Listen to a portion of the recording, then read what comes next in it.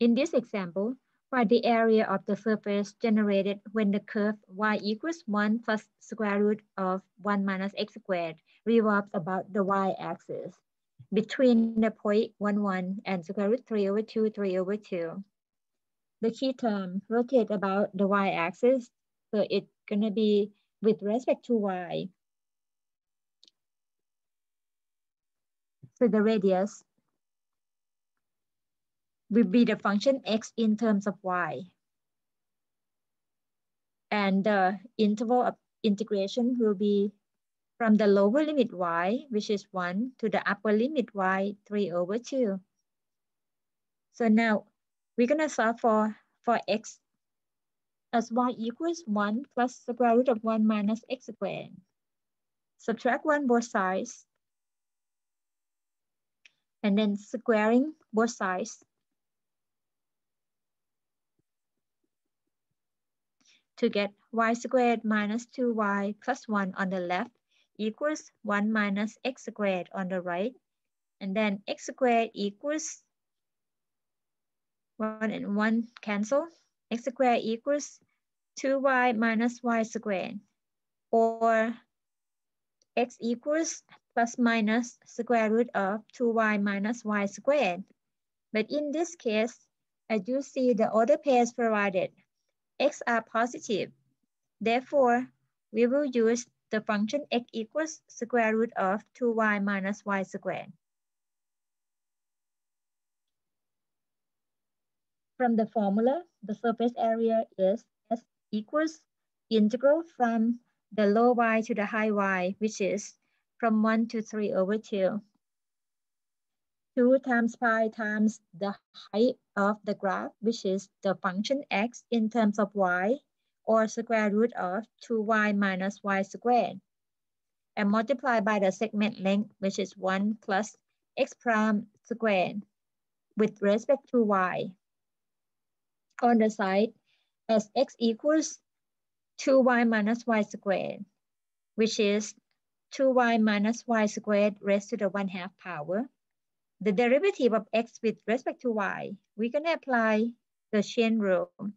So 1 half 2y minus y squared to the power negative 1 half multiplied by the derivative of the inner function, which is 2 minus 2y. Simplify a little bit, the 2 minus 2y, factor the 2 out to be 2 times 1 minus y. 2 and 2 reduce. Therefore, x prime is 1 minus y divided by square root of 2y minus y squared.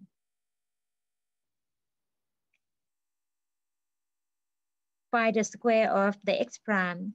We get 1 minus y squared divided by 2y minus y squared.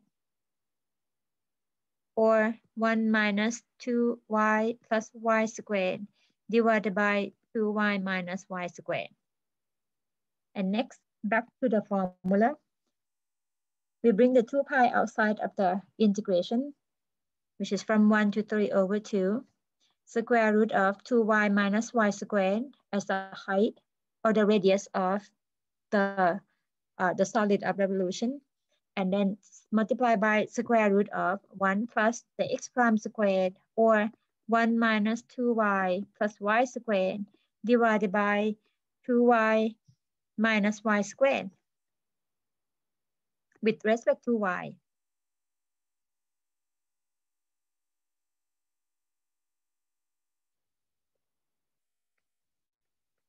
And we're gonna simplify the radicand by finding the common denominator. 1 over 1 is the same as 2y, 2y minus y squared over 2y minus y squared. And then added by the numerator of the second term, which is 1 minus 2y plus y squared with respect to y. We can see the 2y and y squared cancel. That gives us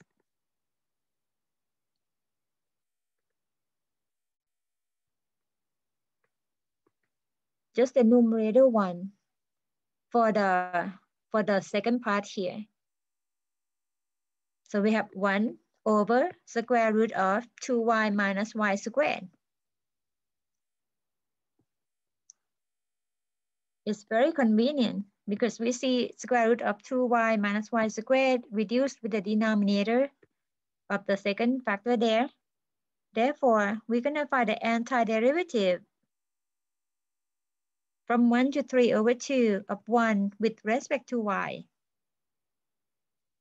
That gives us 2 times pi times y from 1 to 3 over 2 Replace it with the upper limit 3 over 2 minus by the lower limit 1.